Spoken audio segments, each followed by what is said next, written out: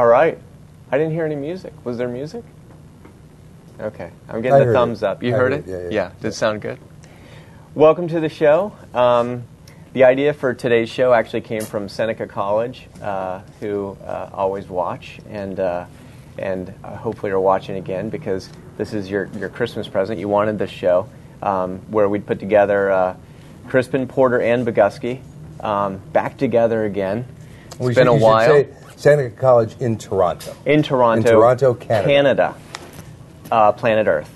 And uh, Sam Crispin is um, to my far right, and, and Sam started Crispin Porter, um, started Crispin in 1965. Right, I'm glad you know. I, I know, well, a I long just, time ago. I just heard that. I'm going to learn a lot today about the history of the agency. Right. But people, you know, people um, don't necessarily know the uh, that the agency traces itself all the way back there, and you know, like Chuck knows that even even as long as we've been there, you joined the agency in 88. um, Chuck Porter, ladies and gentlemen, 88. 88. Yes, but he was writing copy for us. What, what year did you come down here? 71. Seven- 1971. That's when Rick Green brought, brought you in the office one That's day right. and said, You'll like him. and when you first met him, he was kind of a hippie. Would you say he was kind of a hippie? Well, it depends on what degree of hippiness you want. He did need a haircut. His sandals are on. There's a good. There's it, a good. it was the, it was the 70s. It was the You 70s. don't. I don't know. I don't know if you can zoom in on this. I don't know if you look like a hippie quite. That's Chuck right there. Those are my Um, two partners, great copywriters. Now that's a and that's a yeah that's um, a great office too. I mean, I wish we had that wallpaper still. Is that Rick Green? And That's Rick, Rick- Green Rick and Joel Green right Joel Werbelow, Werbelow, yeah, right. Yeah, yeah. Yeah. So you you don't look quite like a hippie, but you definitely look like you don't give a shit about That- it. Well, that's, you know. that's a perfect answer. I was never a very good hippie. I was like a pretend hippie, Right. like a weekend hippie. Because you wanted to make a few bucks. Well, yeah, but I mean, also, I mean, back then, it was before I was married. Girls kind of liked hippies, you know. So, Oh, like, okay. if you go out, you're a hippie, and then when Right. you go to work, you know. although, yeah, I did wear sandals, and and those two guys were copywriters. Uh, when I first came to Miami, they were a copywriting sort of team called Werblow and Breen, and, and I had heard of them because they won awards, and I read about it in Advertising Age, and I went and talked to them and said, you know, I'm a writer, and I'm a really good writer, and my samples are in the mail. And there were no samples. I've never written And there was no mail. There was, no, no, mail. stamp. There was no samples in the mail, and and they said this is the truth, and they said we'll try you for a week. So you got one week. So and they, then they drug him into my office. yeah, yeah, one thing led to another. And Sam, you started in advertising in 1950. About 1951, too. I worked for Grant Advertising originally. This is this is Sam right here That's 1959. in Grant Advertising, which still around. Oh no, Grant. At that time, it was the largest agency in the world, and uh, over the years they deteriorated down to, actually, to nothing. they- They're they- gone. What they did, they they Will C. Grant hired a financial man to take over the operation of the agency. It took them about 10, 15, maybe 15, 20 years to put the business out of And agency there you have, There it and there you have There a it is. parable for our time. Yes, for agencies have to be somewhat creative led, I guess. That's exactly opinion. right. Yeah. I mean, when you start, now you you're make not- rules. You you but you're an account guy, right? That's right. Yeah. Yeah. But you still felt like creative was important, absolutely. and um, and at some point. Uh, um, you decided that you you I, I remember before Chuck was here, you didn't really have a creative director, right? Bringing Actually, what I, in- what I did was I um, knew the best writers I could get my hands on with, it, with this team. Here, World Green, Yeah. and them, them Porter. so you tried to tear up that company That's right. for so your I- own. Yeah. And so I was able to do that. and then Chuck came in and sort of gradually edged the both of them out. So, But what made, what made you decide that you needed a, a creative director? Because you, you were successful, things were good. You didn't have a creative director. You just outsourced all the creative. That's right. Uh, I don't know at the time, just seemed to be right, and uh, I missed him actually. So Really? he brought his dog to the office first thing, you know, and so then he brought his secretary been with him for how long have been Meg with been with you? Yeah, a long time. So it was Long nostalgia. He should have moved in. You know, heard the, you heard about the camel in the tent. Yeah, right. and and and you you were telling me earlier that Chuck um, it was was famous for being late to everything, Well, I accuse missing you of that, Chuck. deadlines, missing deadlines. I, I was, I was, I was challenged. and Well- I'm okay with that. I was, I- and I'm, I'm over it now. I was a kid. Well, and you've turned it into sort of a you spin it in a pretty positive way. I remember when I when I came to the agency, your your attitude, uh, teaching, I guess, your teaching was the best work is always done when the client's in the lobby. That so was um, always my I was almost encouraged to be late, right? Chuck always liked to give everything the last shot. Yeah. And this is especially 10 years, well, we had the Intercontinental Hotel Corporation, headquartered in New York. So we'd have our meetings, go up with our wonderful Ellie Leslie and Joan Castaway. How can we both forget them? I hope they're not watching this. And Sam, Sam was saying that, that uh, most of the time, if there was a meeting and, and uh, you guys were about to get on the plane, he would not really know what he was about to present because it wasn't done yet. That you would no, show he, had up. it, he, he managed to get it typed up someplace between the airport Yeah. and home. yeah, that's true. But I mean, I, I, you know what? I don't apologize. No. it was okay. He was worked giving out. his best shot. Yeah, and it was show always his best shot. Well, and, and I think you know it, it has. We we still you know the CPB is all about the fact that you know great work's never finished. It's just abandoned. You run out of time, right? True, yeah, yeah, Um, yeah. and so you, you know you keep going until till the end. We do try to start a little earlier than you know the night before or the drive to the airport. Now Well, we're better that's than we used to be. I Yeah. mean, you know, we used to be littler, and we used Yeah. to things were you know a little bit looser. But I mean, we we didn't miss very many deadlines. I don't think we missed any deadlines. No, but we No. didn't. We just didn't get the work done, and leave us a lot of time because I think that that. I mean, that leads to bad. You know, idle hands or the devil's. You want people busy right up until yeah, the pitch. yeah, Yeah. Or it leads to golf. Yeah, that's right. Things like Yeah, that, which yeah, you don't wanna do. So yeah, it was. But I think that was, you know, I mean, I, I mean, I still see in the agency now, you know, it's it.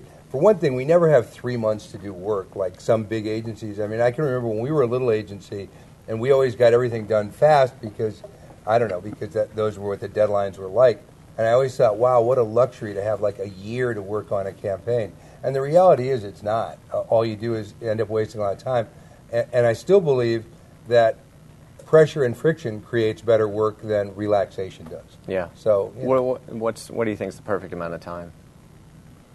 I'd say, I'd say probably noon to five, five, five, five solid hours Yeah. at your desk. Yeah, probably- if you all if right. you work the entire if time. you work the entire time, yeah, Yeah. right- was right there from, from noon to five. Hard to argue with Well, that. let me leave this a little positive, though. Note that obviously, the copy was never bad. It was always great on top. Yeah. So I got to say that. That was Yeah. good work. It yeah, was good always interesting to make sure the headline we used in the lay- layout matched the copy, though.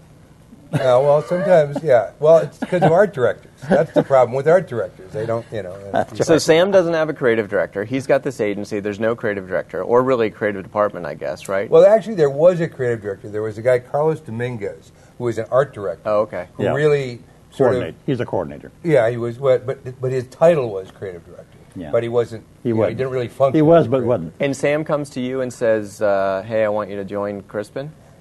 Yeah, well, Sam and I talked about it for. I make very lightning fast decisions. So Sam and I talked about this for approximately seven years. Yeah, we, Okay. we Literally. made instant decisions. Yeah, for days. seven We- years we talked about it, and we used to work a lot on the government of Jamaica. And I can remember we were down in Jamaica, we were in Kingston, we had gone to a meeting with the Jamaica Tourist Board, and we were having a red stripe beer afterwards, and Sam said, "Look, wha- let's finally do this. Write down on a yellow pad what you want to do to do this. So I wrote a bunch of stuff, and I said, uh, this, and Sam said, okay. And I said, I'd like to write more if that's the case. And, and, so, we, and so we did it. You know, You'd like to add zeros, yeah, or, or something. Yeah, some yeah. more stuff. But I mean, it was. We always had, you know, Sam always, even when he didn't have like a, didn't have a really potent creative department, always believed in and sold great creative and won lots of awards. And basically, at the time that I joined the agency, we mostly had tourism accounts. We had That's Jamaica right. and Intercontinental Hotels, and I think we had British West Indies Airlines, a lot of tourism accounts. And so, and, and within that realm, they did brilliant work and they won Yeah. lots of awards. And so, right. so there was always a creative di- tradition at the agency, but it was never in the house. And I think Sam had a sense that maybe it would be better to get it inside. But it, and it was always called it was always Crispin. And then right. part of the part of the your ask or part of the offer was we're going to add your name to it Yeah, as well. yeah, right? well, because I, I had never had an agency job, and so I was a freelancer, and then I created a little sort of a, a creative boutique called Porter Creative Services. So since I was a kid, I had always had my name on the door, and I couldn't imagine. I mean, that was just part of the deal. So, Yeah. Yeah. So it became. Was that weird for you to think, okay, I'm going to add this other name No, of this bothered me a hippie? bit. I'm add this hippie name. To the, No, people accuse us of being that way anyway, so might as well be totally yeah. guilty of it. Chuck so. wasn't a hippie by that point. I No. mean, Oh, that no, was he's very, No, I was married with two children. 80. very dressed right. up like he is yeah. now, and you know, very Preppy. tied together. kind of preppy Yeah, yeah, at that yeah. point. That's right.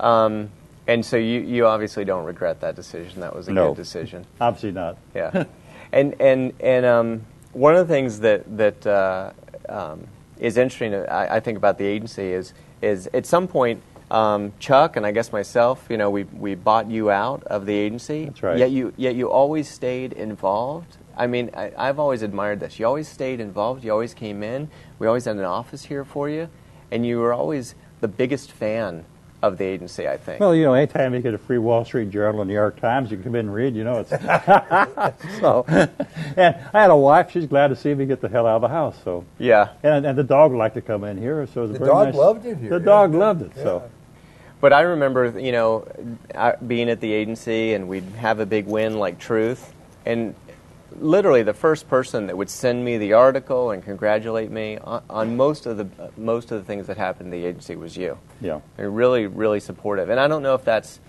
I don't think it's typical at all in in terms of what happens as you know agencies evolve and people come and go. Well, sort of probably go back sort of like family. Well, you know, I met you cutting boards Yeah, we were mother and father, and there's and I didn't meet you till after your dad came back from service. You were you didn't go in when I didn't meet you with your uncle there, yeah, but but as soon as your dad came back to service, because your mother was there working with Al, if I remember right. I think so. Yeah, yeah. and uh, God, that was a long time ago. Yeah. So- Well, you met me probably when I was doing deliveries. That Oh. could have been the other time. I used to do deliveries for that's the right. for the Delivery agency. plus cutting boards. That's yeah. right. Yeah, well, I'd cut some boards. He cut the boards and delivered them too. So, Yeah. so that's that's. The, I was the delivery kid. this is this is a very incestuous thing. It goes back a long, long It way. really I does. think way further back than most people You basically know. have to be born into this agency, You kinda I do. think, in Yeah, you some ways. do. Well, I'm going to liken it to, well, the U.S. hockey team. Uh, uh, up at the village where I live right now, there's a former hockey referee, and he was working for Notre Dame. I don't know what he did up there, but anyway, uh, he he got talking about the hockey team. He's a former hockey referee and coach, and and remarking about the idea of, of putting this group together who had played together and had and had ties that go way back against just having all stars in a team, and uh, they proved it last night against the Canadian hockey team. was vastly favored. Everyone, at least people I was seeing on a daily basis here, hockey fans just felt Canada had it won Yeah. hands down before the game. Yeah. But they came out and they five to three. I mean, that's amazing hockey score when you get down to it.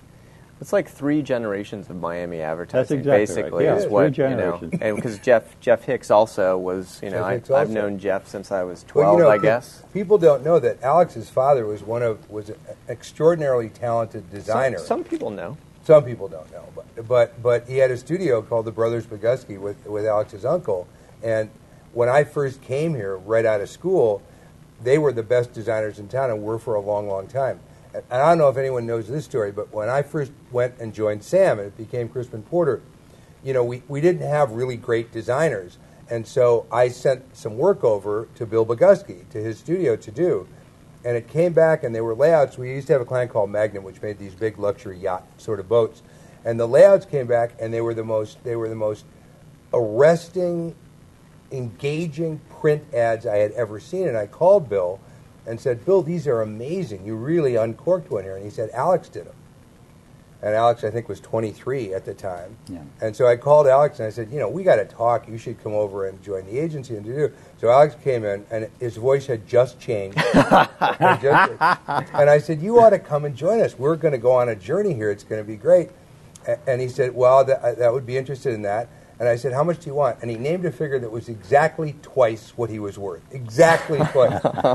so, but it's the last time we ever talked about money. From that on, But he was was looking cool. ahead. He That's was foresight. looking ahead. He was looking ahead. Yeah, That's yeah. Well, you, you before that, prior to that, I was working in another agency in town, Ryder and I- Shield, uh, yeah, Ryder yeah. and Shield, and I had, was working really hard to try to impress my bosses there, and um, and not really getting anywhere.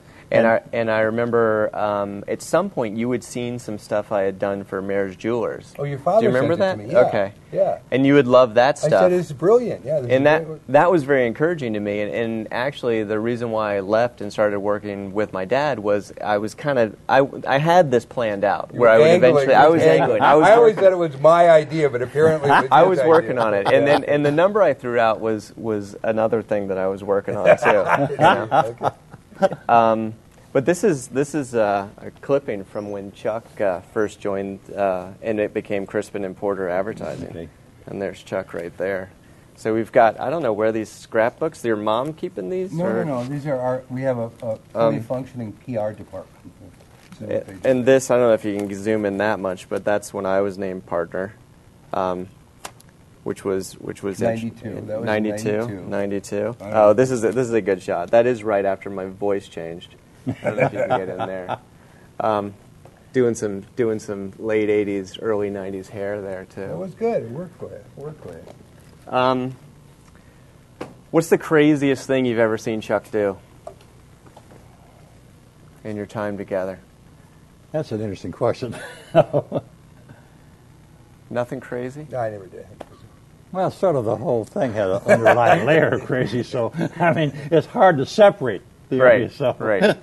well, you were you were in the you were in the business. Um, you ever see that show Mad Men? Do you watch that show Mad Men? I've It's seen it, yeah. Okay, I, I don't watch it, but but it's it's about that era. You know, That's the right. fifties and sixties of 60s. Yeah, yeah. yeah, yeah. And you were there. You were living that era. That's right. You know, you you were telling a story about being in the in the Bahamas, and you know, the way accounts moved was a little different than maybe they do. Oh yeah, no, no, that was here. I don't know if you remember, Sam. There, there's a guy from an unnamed Caribbean destination who was a big sort of hotelier down there, um, who had a, a pretty big account for that time.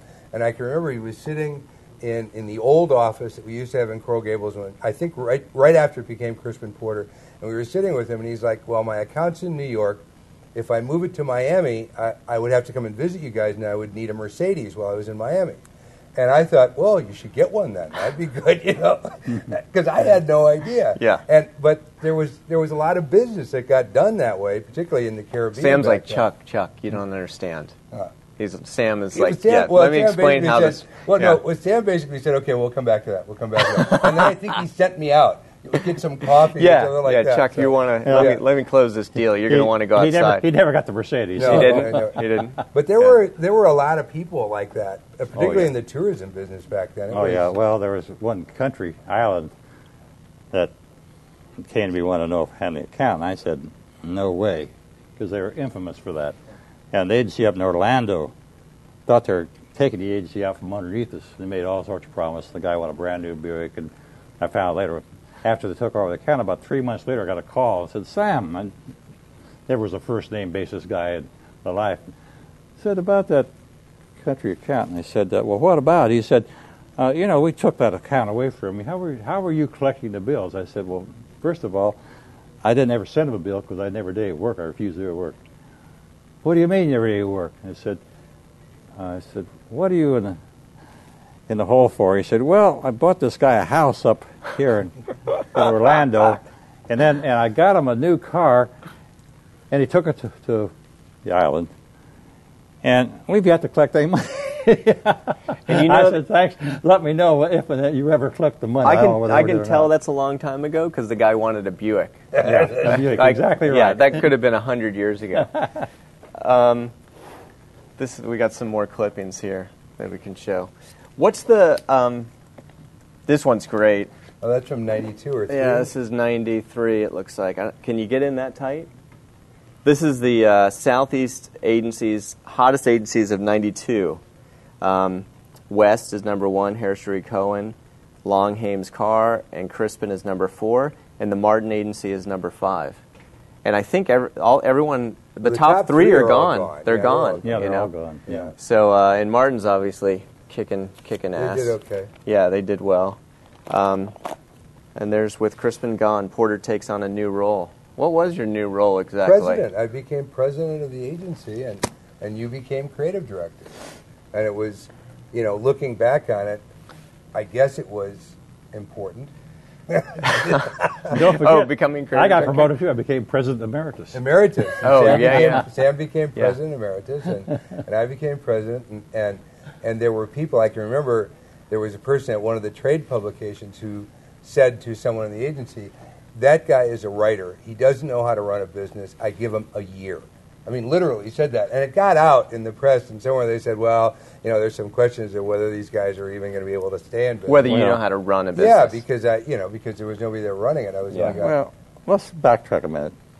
We didn't have exactly many friends in the agency business. no, that's true. That's a good question, and that question has come in Yeah. but from Twitter. If you have any questions, you can you can tweet them in. Um, we're taking them live. But uh, the question the question came in about what was Miami and the Miami ad business like, you know, back in the day. Actually, I was not very involved in Miami ad business. First of all, people on the beach never paid their bills, and I had a bad habit of paying bills.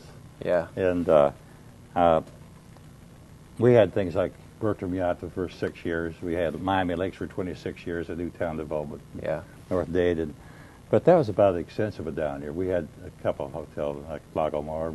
Then we started working for uh, Intercontinental Corporation, Latin American division. And then we ended up taking the whole account over. And incidentally, the very large old agency that had the account then never would admit that they lost the account to us.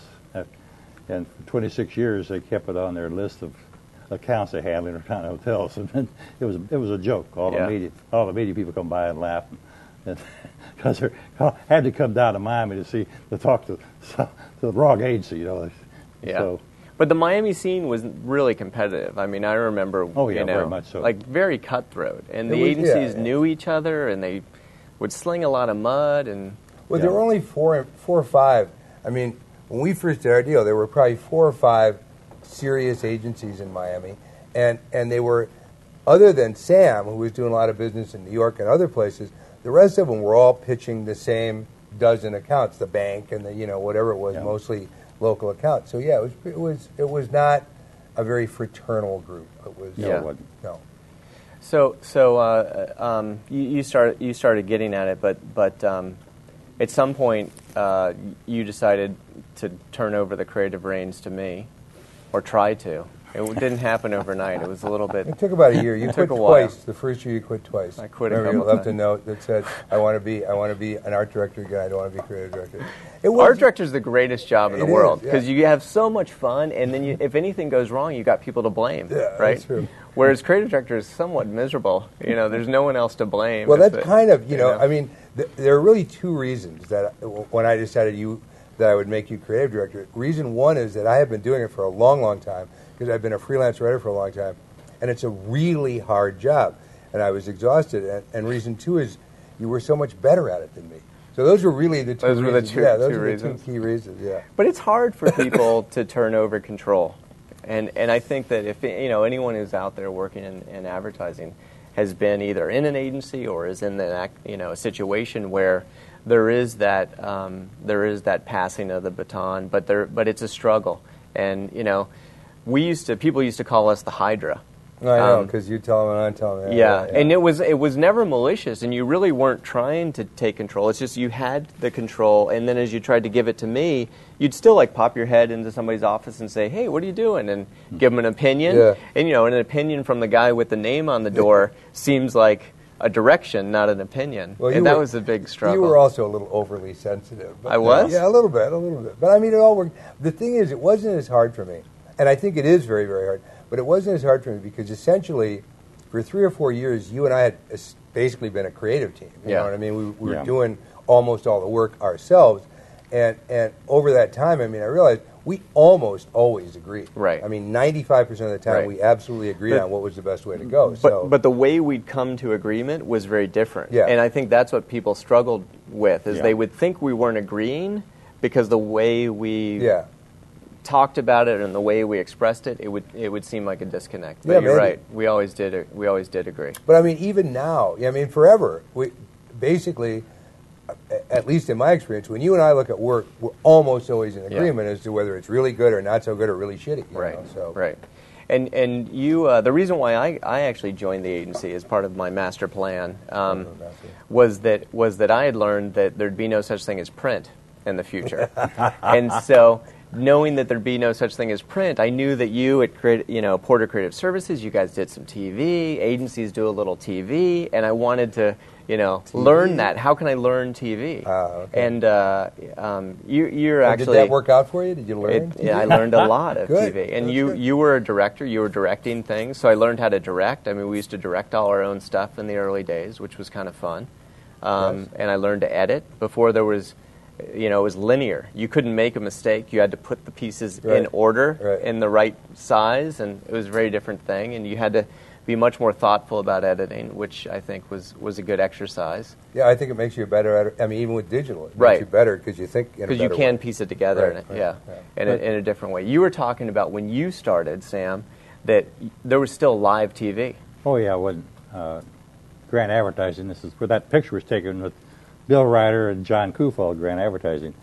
They had an account uh, Dodge Plymouth, and uh, the account executive on that got edgewise with the, the account, and so I they were they had a major minor with uh, General Electric, I think, appliances on the Lawrence Welk show. Yeah. And so I flew up every Friday and sat there, and you would rehearse the Lawrence Welk show live, total all the way through, including all the commercials. And that was the show that was infamous. Everyone knew about when they, I forget the well, the actor's name. She tried to get the the refrigerator door open stuck Oh. on camera. that- Right. That, type of thing. We would sit out and you go through everything twice, once on camera, once off, and it was a whole different thing. So they sat- delivered the commercials live right there. Oh They yeah, would just We had- swing the camera. You had to sit. like- you had to sit there with a guy in control, make sure the guy was punching up the damn right slides of the thing. that's pretty cool. That would, yeah. Yeah. And that was so. Unfortunately, just in my lifetime in the advertising business, I've seen TV just turn into so this bootstrap type of situation. But this- that's yeah, that's pretty much the beginnings of TV. That's right. Right, and then and then you know to to now where we're doing our own live TV show. That's right. You know, or or And we're going to do a live commercial in just a moment. Do you, so hold- do you have anything that I you want to haven't- I hawk? I wish No? I'd have thought of it. yeah, it'd be nice. just yeah. a second, he'll have it. what, um, what was the, what was the question came in? What was the strangest thing, Chuck, that you have ever let me get away with? Well, can we can we come back to that? Sure. What's legal? Sure. Yeah. I mean, you never really did strange things. No, You know, no. no. You you never. You were always. I mean, you were always. You always I'm almost too fun. responsible. You were, yeah. You right? were always a very responsible guy. Yeah, I think Yeah. you always were. We have, you know. Keep going with that. Well, no, because you're an only child, and so you learn to be independent and responsible, and, and, and yeah. So no, I, I mean, you've done some fairly crazy things, but but you've never done anything that was destructive to the agency or the work. You Yeah. know what I mean? Yeah. So yeah. You know. Now there were there, I, I remember um, um, or I didn't really realize, but I was I was competing for the uh, associate creative director job back in the day. You know, not really. That's Not really? No, because No. that that's that's sort of a myth that has arisen because there was a writer who worked with me before I came to Sam and who I brought with me, Mary McPhail, who I think has engendered the idea that you two were competing, and that was Because I didn't know we were competing. Yeah, no, you weren't. Not, No. weren't But then ever- when I got promoted, we stopped being friends, and Well- I, I never had put the two together. I, I, I would say this: she was competing, and she was great. She is she was a a, great- wonderful she's a writer. very and she's a great writer. woman. Yeah. Um, but but I think when you got promoted, she felt like she had gotten passed over. She told me years later. She said, "Well, Chuck made the right choice." So I think she thinks that we were competing. well, I think she's right. Yeah, I, I think that she does. yeah. Here's uh, Oh, that's you and I. this. Yeah, this is this is me and Chuck. Right around the time, probably Let's see, got the a little before my name was put on the agency. Yeah, that was '95. Yeah. Oh, you your name went on the door in '95, right? Or '96? I don't. Rem- I don't remember. It's got it in there somewhere. It was Okay. '95 or '96. Oh yeah, there's a really small. Here it is. Yeah, it was huge. There it is, yeah. it was huge news when I got my name on the door. There it is, right there. But there. they spelled it right. So yeah, which is nice. I think it, there were. I think there was bigger news than that. We just don't have it. I don't think there was. That might have. I don't think it was know. that big a deal. Um, but it was a big deal to me. I remember that, that I started, um, uh, well, I guess when I became creative director, I started drinking a lot and way too much. And, uh, um, my girlfriend at the time uh, threatened to leave me because I was drinking too much. There was a lot of pressure being creative director. I Well, realized I never you were- had a drinking problem before But that. and also, but you were very young. You know what I mean? And also, we were in. I mean, you were very young to be a. You were like 27 or 28 when you became creative director. Yeah, it's like 28, I think. And we were growing. And also, you know, we had we had huge aspirations. You know, I mean, we, we really wanted to be something really special. So that's a lot of pressure. You know. So yeah. you, you, uh, Chuck, Chuck's um, friends went to high school with Pat Fallon, Junior high. Junior high. Yeah. And when I and when I met Chuck, um, he would tell me stories about Fallon and what they had done, and I didn't know much about advertising. And and Chuck convinced me that we could do what Fallon. He's like, I know these guys. You know, I mean, they're smart guys, but they're not anything that special. We can do this. And I totally bought into it. You did. That's I really true. did. Yeah, yeah, yeah, I totally bought into it. But I but it turned out to be a lot harder than than I think we expected. It's hard. I mean, really hard. Those guys, you know, I mean, every every agency that's successful, I guess, is successful in a different way. But you know, Fallon started out it was like six guys, and they started, it, and a year later they got the Wall Street Journal. So I mean, that was you know an instant because they did good work. It took us longer, but I mean, uh, I think that I think it was always true. I mean, it was always about the work, and whenever you looked at the work from early on, certainly from shortly after Alex got there, whenever you looked at the work and compared it to the work that was being done in the world, it was great. I mean, at least a lot of it was really great. And so we just had faith that if we keep doing this really great work, eventually we're going to get discovered. I think the you know one of the reasons why you wanted me to be creative director is because I. I I wasn't okay with any of the work not being good. I remember Yes, you used to tell me like just re- me just crazy. relax, like it's okay if some of it's. crazy. Not. I know. It used to drive me completely crazy. But then you decided, okay, rather than getting crazy, just harness that maybe. Yeah, yeah. Yeah. I, well, ultimately, I had no choice because you were so passionate and crazy about it. And, I, and people would come to me, all of the account people, all 100% of the account people, at one time or another came in and said, I hate Alex. I wish he was dead. He's driving me crazy. We got a deadline. He won't let the work go, do, do, do. And so for about a year, I would go in and say, they all hate you. You got to get.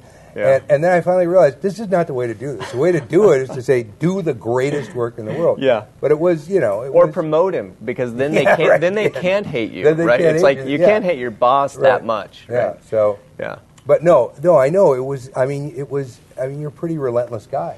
Um, Sam, what do you what as you watched the agency? Was there a moment where you thought, okay, this this could take off?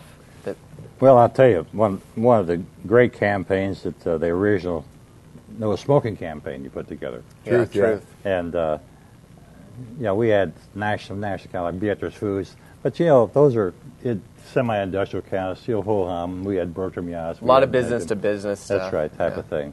Uh, but then when we uh, that no smoking account thing, and oh, one of the little interesting things you asked about crazy things that Chuck.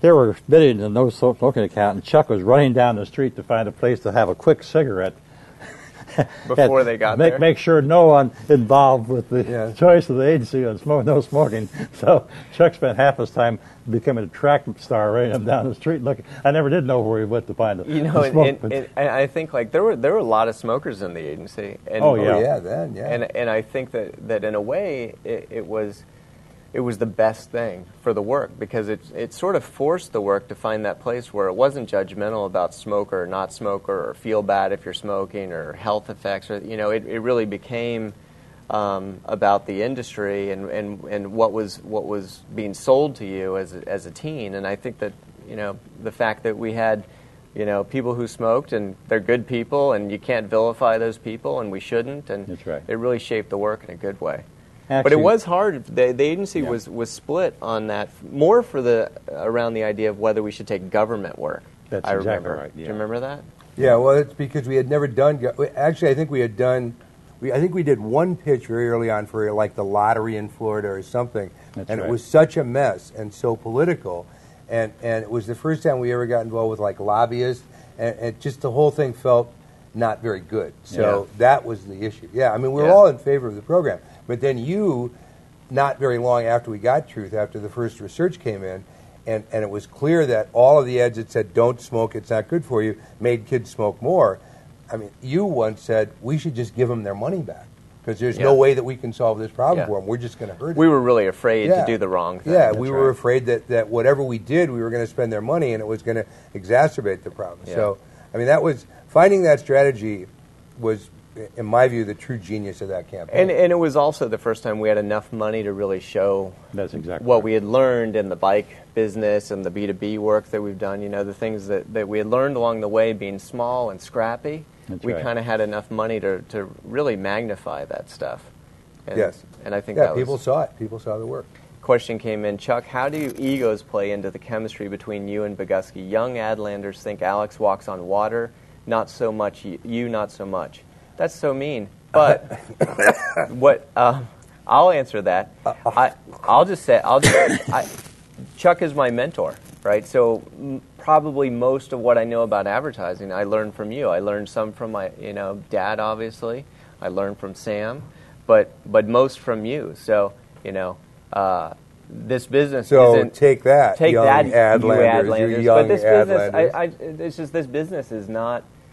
It can be about superstars, I think, but it, but it is not here. It never has been. It's always about. Uh, um, it's very much a, a team sport at Crispin, and, and it's it's all been about getting it a little bit further, you know, down the field, moving moving the ball and progressing, and and uh, so Plus, that's all I'll say. I mean, I have, I mean, I have no ego at this point. Although, if you could zoom in on me a little bit, I'm thinking of a frame about like this, roughly, for the rest of the show. Yeah, So, how, is this going okay so far? I like is it. Show going okay? I like it. I like Yeah. doing. I like the little dead air that just happened. Yeah. You know, it makes it feel real. Yeah. It's You know, you're- live. You're, you know, talking about, are about the no tweeting smoking in. account. Yeah, One of the accounts we had a lot of fun with was the Mini Cooper account. That Yeah. was a fun account. Unfortunately, we got the thing selling, so they didn't think they needed us anymore, but that happened. No, actually, we we let them go. Yeah, I guess that's right. Yeah, yeah. yeah, which was, I think, in some ways, I think it was a mistake. It was it was too small, probably realistically, for it to be our only ca- car Yeah. account. Yeah. Um, but I don't know. Like my heart, it's hard not to have many. You know, the way it just and and the the worst decisions I've made in business are the ones that I make with with my head. Yeah. And the ones that always work out for me are the ones I make with my heart. And and uh, um, but it gets harder. It gets harder and harder as you grow to make the decisions with with with your heart. I think. Yeah, but I think in the advertising business, you can't get too far from that because in account handling and working with people, one of the worst part, and, and I fell victim to this, you get a couple of accounts, then they start owning you because Yeah. it's so big you can't, they keep you from having time to do other accounts. And I really got trapped because Yeah. people would come in and people think I had to handle account and Chuck had, you know, so really, really were being trapped by a couple of accounts. I think your guys' relationship started what is what is really healthy, which which is we're known as a creative shop, but the creatives that really excel here understand that the account people probably make a bigger difference in how good the work is than the creative people. You know, I've said that before. Yeah. That you can have great creative people, but if you don't have a a, a, a relationship where the work is going to get sold, right. it just doesn't matter. Um, so like that that deference to the account person and the and, the account people's deference to the creatives is is what's led to I think a lot of a lot of good work. Well, I think that's right. There's a lot of agencies that I've seen, and a lot of bakers that aren't here anymore, where one person goes in and takes credit for everything, and that just can't happen in the Yeah. advertising business.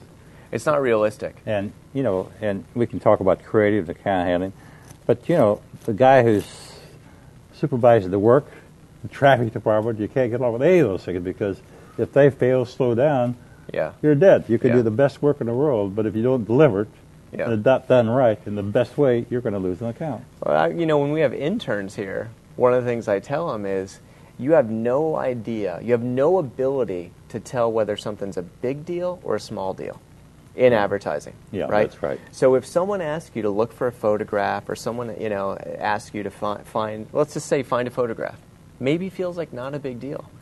You don't find that photograph, the art director doesn't get the photograph, isn't able to comp up the ad for the presentation, the ad doesn't get presented or the idea doesn't get That's presented right. in the way that someone wanted it to be. You just ruined the entire thing. As, as, exactly as an right. intern, it all fell apart because you didn't do your part. That's right. So understanding that all the way up and down you know, the latter is really important for advertising to succeed because it is, it definitely is a team sport, and one person anywhere in there can can screw it up. But I think uh, you know you're talking about like whatever it is, you know, mutual respect between. I mean, we never had in the agency from the day I got there anyway. There never was that sort of animosity between creative and account, you know, which was very much, I think, uh, the culture of the advertising business, especially back. It's the then. joke of the advertising. it's like, like it's like it's kind of and the cool. Like there's guys, yeah. suits and the, and like the creatives, you know, make fun of them. Yeah. And it's really destructive. It's horrible, and, Yeah. and, and we were very lucky because, uh, you know, because we started out small for a whole bunch of reasons. We never had that sort of animosity or antagonism because it is enormously destructive, and it, and also, it just makes people think in a very bad, sort of malicious way. Like whole us against them is ugly. Yeah. Well, also it gets back again. We talked about running a business strictly for the financial end of it. I know it back going back to talk about it because I'm not in business anymore. Grant advertising. It got to the point that you couldn't have anyone else unless who's who's going to pay for his time. How are we going to charge Right. the account? I mean, everything was a money decision, not a creative decision, not a handling decision. It, it sure that's got to be there someplace along the line. You just can't go crazy, but you also can't do good work if if your your hands are bound, your legs you can't go out and talk if you about really that. if you really think accounting is a refined instrument for running a business, It's you not. will fail. That'll- it is a, it is extremely blunt. that's right. Yeah. And, and I think that that was one of the things that, that I learned from you and then stepped into the job with enough confidence to say, this is a false economy. You know, the idea that we're going to take hours away from this or we're going to stop work here, this is, this is inaccurate. It may seem accurate based on accounting, but, you know, more and more, and I think more and more the, the, some of the issues we face as, a, as, as an economy and as a, as a, as a nation and as, a, um, and, and as corporations, this tool of accounting you can't really follow it to the letter. We need No, actually a new right. way to account for things that's more realistic and, and is more human. But I've definitely seen it on a level here that taught me a lot. Yeah, no, I think, well, yeah, I think that's true. And I think that it is, I mean, like Sam said, grant advertising, I never knew them, but I certainly, I mean, everybody knows a lot of agencies who became financially focused, and it was not good for them. No, it's not good. No. it's not good. Now there were some things that were funny though, like you know, Chuck Porter is the is the to me sort of the original culture of the agency, right? Like one of the things you get when you hire Chuck is you get a little box of culture that you can just unwrap. It's like explodes all over um, everything, and and. Uh, and I've tried to um, do my part for that as well. But but I think you know, Chuck, you are the you are the son, I think, of the of the agency culture, and and um, there were weird things at the beginning about the agency, like and I just.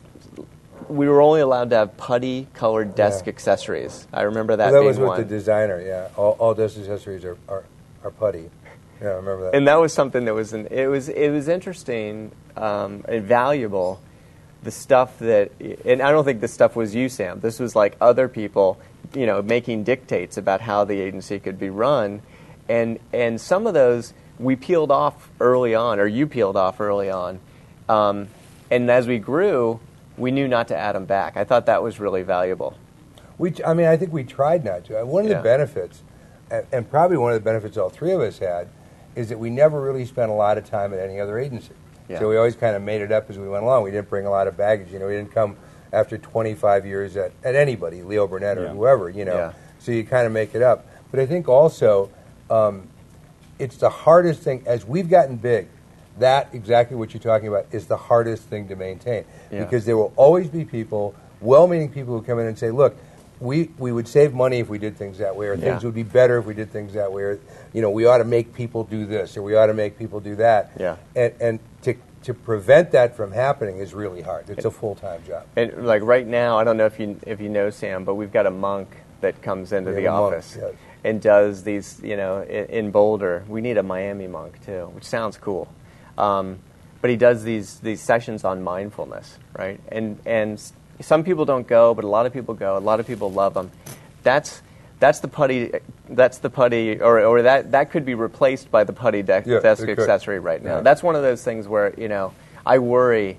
You know, will we still have that sort of random cultural benefit that just kind of makes no sense and is real easy to say, hey, we got to cut some costs. that, we yeah, got to yeah. get rid of the monk. And I know it would be a false economy. But I mean, it's all you know. I can remember one time early on, Sam, probably the first year I was there, where there was uh, somebody, a copywriter, a woman copywriter, came in on the weekend and spilled coffee on her computer. Okay, it was there on a Sunday, and I remember a, a memo, a memo that came, that came through me or circulated through me that said, okay, you know, you spilled this coffee on your computer, and we have to bill you for it because you're not supposed to have coffee on your desk, so it's ninety bucks, and we're going to take it out of your pay. And I couldn't, and I, I literally couldn't believe it. And, and I, I remember you and I had a conversation, and I'm like, okay, whoever made this decision, they really can't work here anymore. You know what I mean? That's a I, person- I still don't know who made that decision. I do too. I do. Yeah, I, I know who made it. They were gone shortly thereafter. But, but I mean, stuff like that. And and this is a person who's probably not an evil person, but they're just you know you get these like, well, this is the rule, and like you know, don't come in on and don't have coffee on this. It's hard. It's Yeah. hard to keep that up. Well, Jeff Hicks, who I think, uh, you know, um, obviously huge in terms of changes to the agency and, Right. and, and, and, uh, and, and the success of the agency.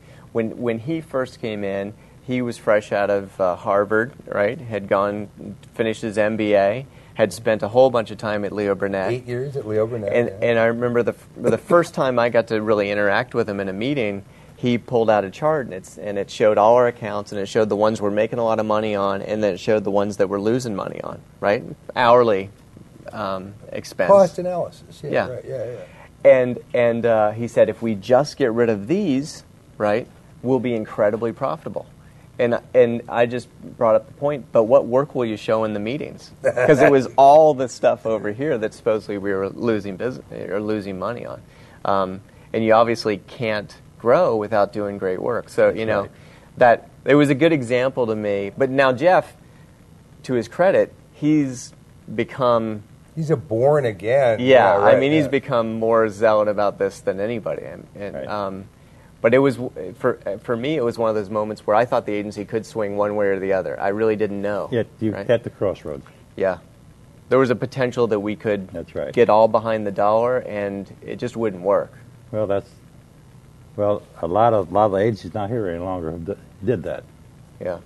and a lot of creative work went down the well with it. So And great accounting people understand that as well. I mean, I think we're lucky at the agency. We have people like Eric Lear um, and Carl who understand that uh, that their instrument's a little blunt, Yeah. and and they and and and they and and are passionate about the work. I mean, if you have a, a CFO that's passionate about the work that you're doing, that's amazing for an agency. I don't think is- there are many that have that. But I think they've learned it here. I mean, even Eric, Eric Lear is our COO, and he's, he is sensational. But when he first came, he came with the same sort of preconceptions that business people come with. Well, Yeah. look at you're losing money on this, you're making money on this. This seems like a no-brainer. But but he learned very very fast. This is where the soul of the agency is, and now he's another, you know, crazy fanatic guardian of the soul of the agency. But but it's not natural. You know, most Yeah. people who come here, business people, don't come here saying, well, you know, the most important thing for us to do is to embrace the creative and the work. They come saying, how can I make this business better? And What- they learn. What advice would you have for somebody who's starting an agency right now? that's a tough question. I'm here to ask the tough Actually- questions. This is no cakewalk, Sam. The, the problem today is totally different was when I started out in the agency business. First of all, I was young enough not to know any better. That might be a key. That's probably probably the first step. And uh, you have to believe in yourself, and you have to believe in the people that you're going to be associated with, and that's part of it. Is it, it you know, it's like a human body. I mean, I mean, do we need two arms, two, you know, Yeah. five fingers? I mean, how can you get rid of one of those if they, they all are part of the whole? And I think that's important of it. It's like doing a tango. You can't do it by yourself. So. Yeah.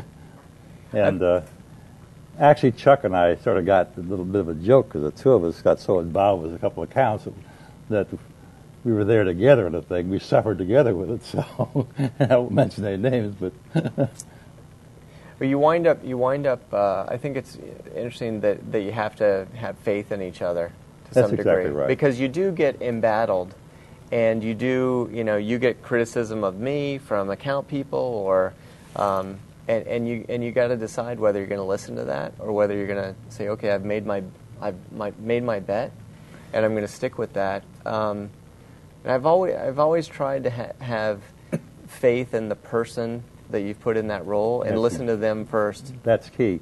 I'll tell you, funny enough, it's sort of like I did a lot of sailboat racing and sailing, and you can always tell someone who really is going to win races consistently and get where they want to go with sail. If you get a hold of the tiller and you oversteer, you're just going all over the place and not going to go anyplace.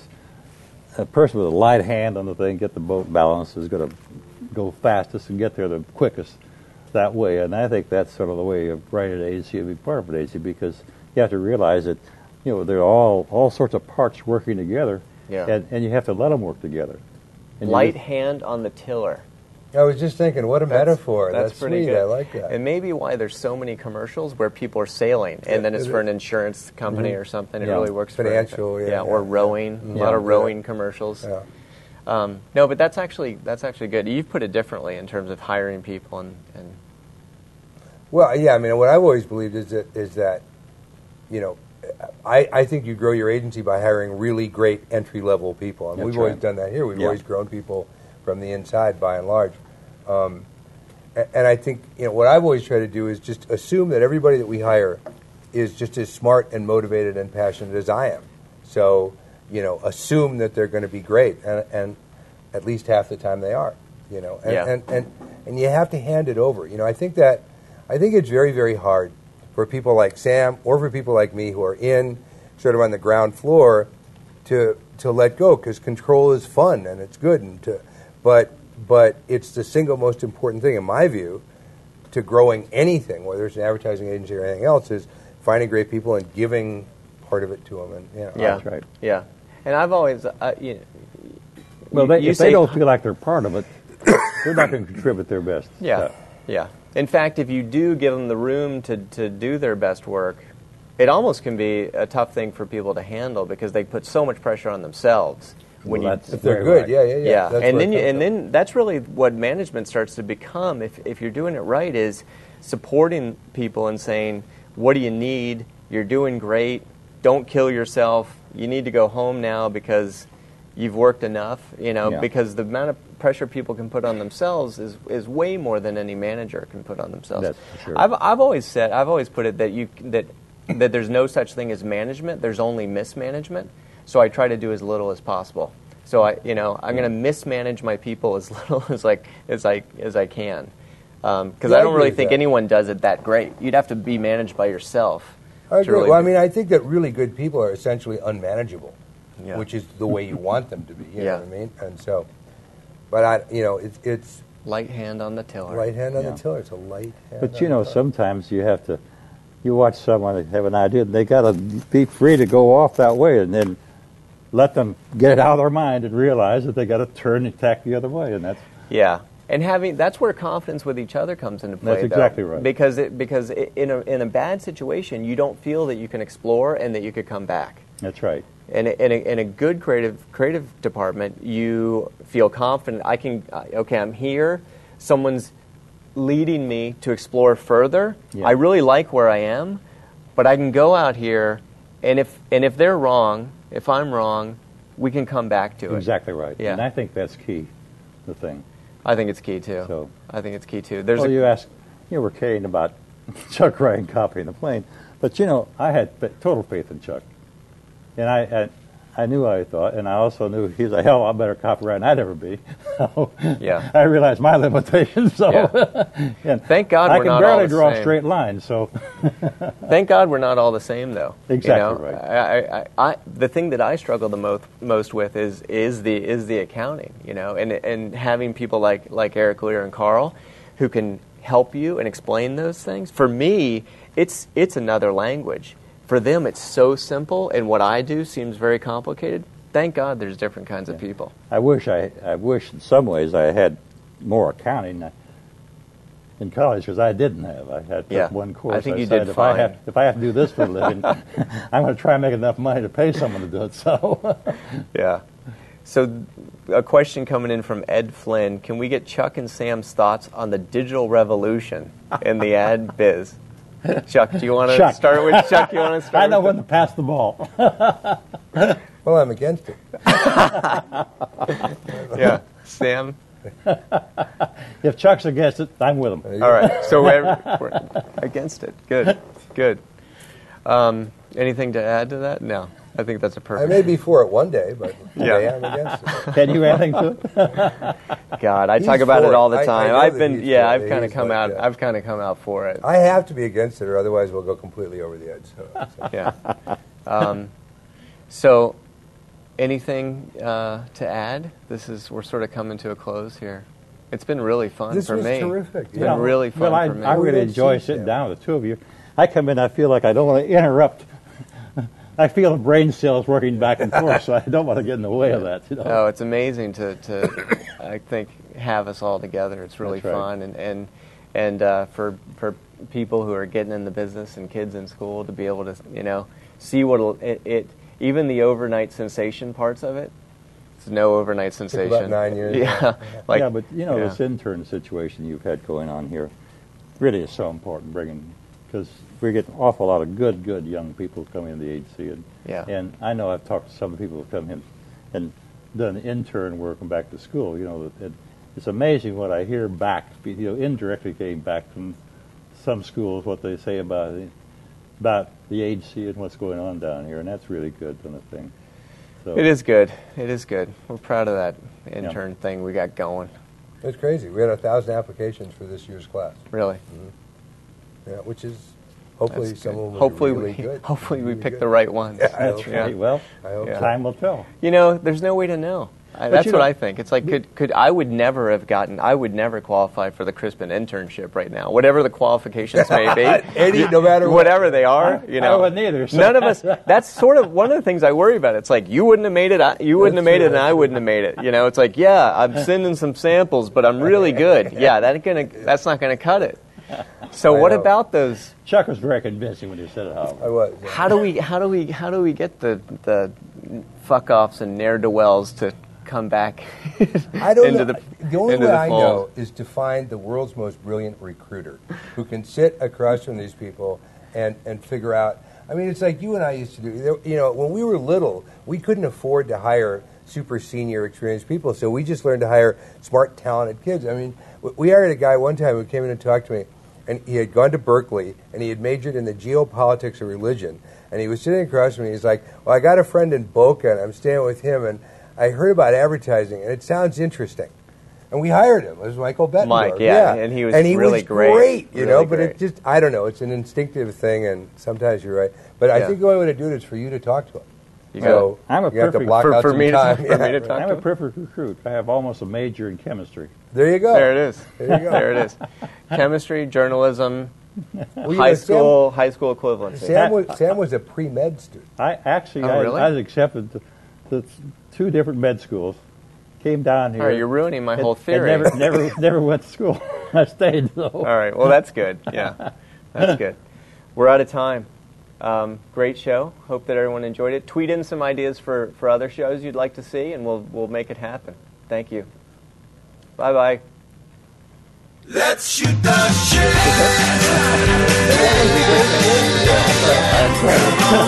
Right on. Let's pontificate. Family We got one masturbate.